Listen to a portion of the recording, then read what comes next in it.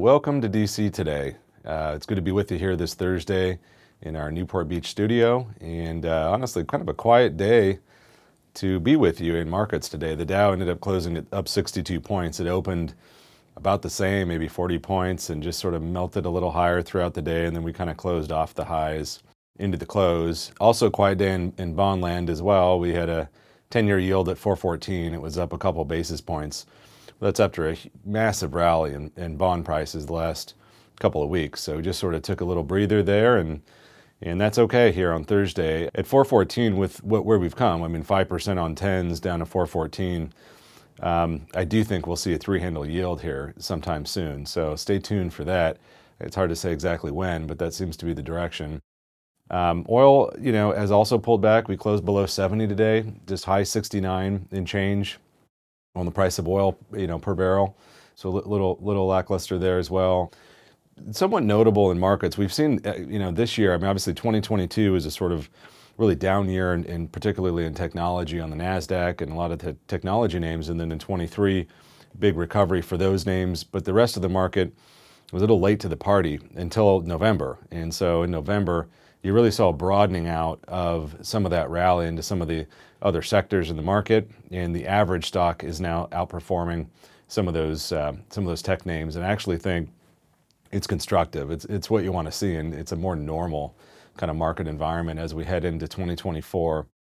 You've definitely seen a, a rotation. Uh, financials have, have been been up quite a bit lately, and, and it reminds me of, of past markets where you get a, a, a you know, a ramp up in interest rates kind of kills net interest margins for banks because the yield curve goes upside down. Short-term rates are higher than long-term rates. It's harder for those banks to make money. Then you get a pause into a declining, potentially declining rate cycle in the following year. And we've seen it in different periods before. 95, 96 is a, is a period I would note where it looks a little similar with at least the financial sector. We'll see how that, that bodes into next year. It is interesting with how high rates have gone, and we've talked about this before, with, with just how resilient the consumer's been, because frankly, they're not, they're just not feeling it as much. You know, the, the uh, consumer is still very strong. There's still cash savings. While we have seen credit card, you know, debt go up, and it is expanding, and those interest rates are, are higher. Credit card interest rates have always been high, even when rates were low. So I don't know that that's a whole, whole lot different there.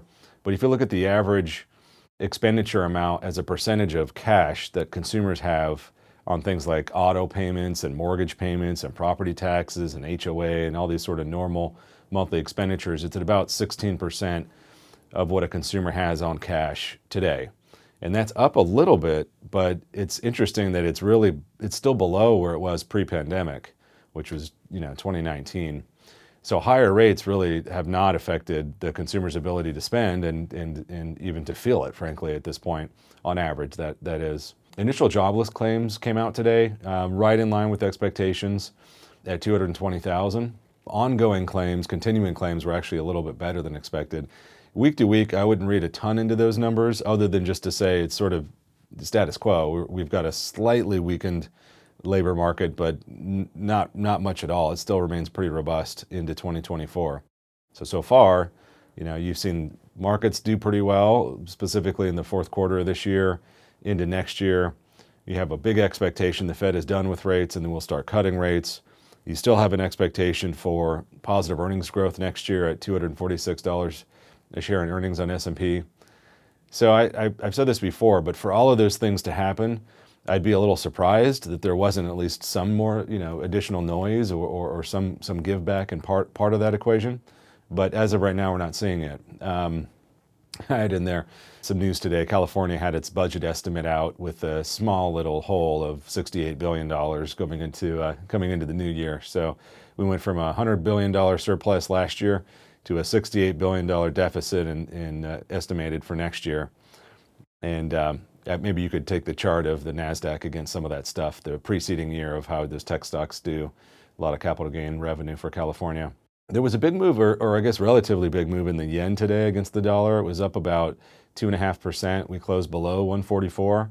Um, notable, you know, basically traders taking positions thinking that the uh, BOJ is going to end the negative interest rate policy there. I'm not so convinced of that, but moving currencies nonetheless is worth noting on the day.